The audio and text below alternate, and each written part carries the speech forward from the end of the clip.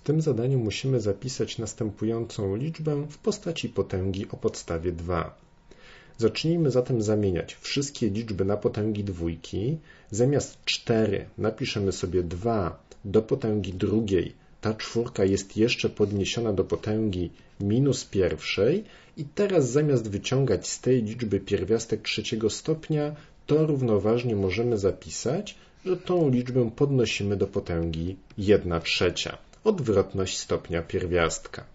No i dalej mamy tak. Razy 2 w potędze 1 czwarta, z tym nic nie robimy.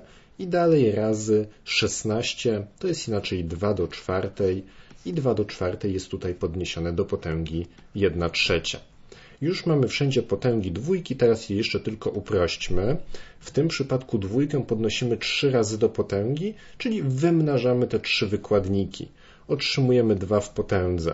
2 razy minus 1 razy 1 trzecia to będą minus 2 trzecie. Dalej razy 2 w potędze 1 czwarta i jeszcze razy 2 w potędze 4 razy 1 trzecia, czyli 4 trzecie.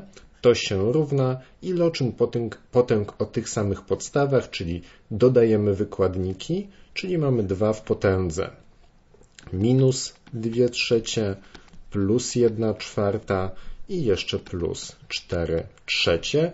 Żeby dodać te ułamki, to musimy je sprowadzić do wspólnego mianownika, czyli zapiszmy, że tutaj mamy 2 w potędze minus i wspólnym mianownikiem będzie liczba 12, czyli pierwszy ułamek mnożymy w liczniku i w mianowniku przez 4. Mamy minus 8 dwunastych, dalej mamy plus 3 dwunaste i plus 4 trzecie, czyli plus 16 dwunastych. To się równa 2 w potędze 16 minus 8 to jest 8 i jeszcze plus 3 to będzie 11, czyli 11 dwunastych. No i to jest odpowiedź do tego zadania, czyli poprawna jest odpowiedź D.